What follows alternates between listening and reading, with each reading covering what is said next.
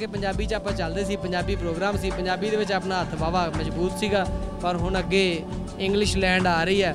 ਟੈਂਸਾਂ ਦੀ ਪਰਵਾਹ ਮੈਂ ਕਦੇ ਜ਼ਿੰਦਗੀ 'ਚ ਕੀਤੀ ਨਹੀਂ, ਉਹਦਾ ਝਨਕਾਰਾ ਤੁਹਾਨੂੰ ਪਤਾ ਲੱਗ ਜਾਊਗਾ ਜਦੋਂ ਮੈਂ ਉਹਨਾਂ ਨਾਲ ਗੱਲਬਾਤ ਕਰੂੰਗਾ। ਆਓ ਫਿਰ ਟੁੱਟੀ ਫੁੱਟੀ ਗੱਲਬਾਤ ਕਰਦੇ ਹਾਂ ਜੀ, ਵੱਧਦੇ ਹਾਂ ਅੰਗਰੇਜ਼ਾਂ ਦੇ ਕੈਬਨ ਵੱਲ ਨੂੰ। ਲਓ ਜੀ, ਹੁਣ ਅਸੀਂ ਆ ਗਏ ਆ ਬਗਾਨੇ ਮੁਲਕ ਦੇ ਵਿੱਚ। ਮੇਰੇ ਕਹਿਣ ਦਾ ਮਤਲਬ ਟ੍ਰੇਨ ਤਾਂ ਨਹੀਂ ਬਗਾਨੇ ਮੁਲਕ ਦੇ ਵਿੱਚ ਗਈ ਟ੍ਰੇਨ ਤਾਂ ਆਪਣੇ ਮੁਲਕ 'ਚ ਹੀ ਅਜੇ ਚੱਲ ਰਹੀ ਆ।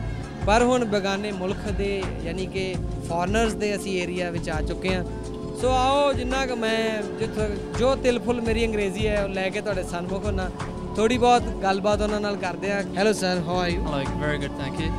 What's your good name My good name is Mark Guerin firm which from New Zealand. New Zealand Yes. here first time in India Yes, exactly. We've been here for four days.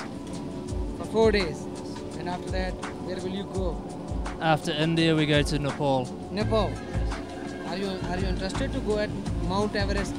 No. What you have heard about India? what I've heard, um, I don't know. Lots of things, really. I suppose. Very diverse. It's a huge country. A lot of things to see. So, I'm not sure. We're here for three months, and we want to see as much as we can.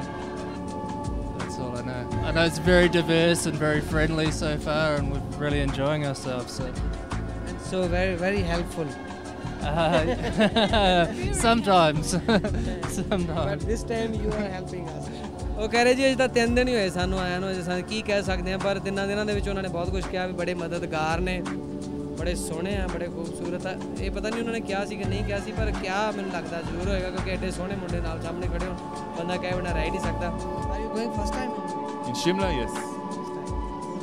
Okay enjoy the tour best of luck okay thanks a lot ਲਓ ਜੀ, ਅਸੀਂ ਦੋ ਜਿਹੜੇ ਪੜਾਅ ਨੇ ਪੂਰੇ ਕਰ ਲਏ ਨੇ, ਮੈਨੂੰ ਵੀ ਥੋੜਾ ਜਿਹਾ ਸਾਹ ਆਇਆ।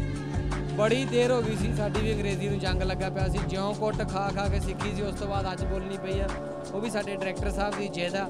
ਸਭ ਤੋਂ ਪਹਿਲਾਂ ਚੜੇ ਹੀ ਉਸ ਡੱਬੇ ਦੇ ਵਿੱਚ, ਜਿਸ ਤੋਂ ਸਭ ਤੋਂ ਜ਼ਿਆਦਾ ਅੰਗਰੇਜ਼ ਬੈਠੇ। ਥੋੜੇ ਥੋੜੇ ਚੱਲ ਵਿੱਚ ਵਿੱਚ ਪੰਜਾਬੀ ਆਉਂਦੇ ਜਾਣ, ਬੰਦਾ ਸਾਹ ਲੈ ਲੈਂਦਾ।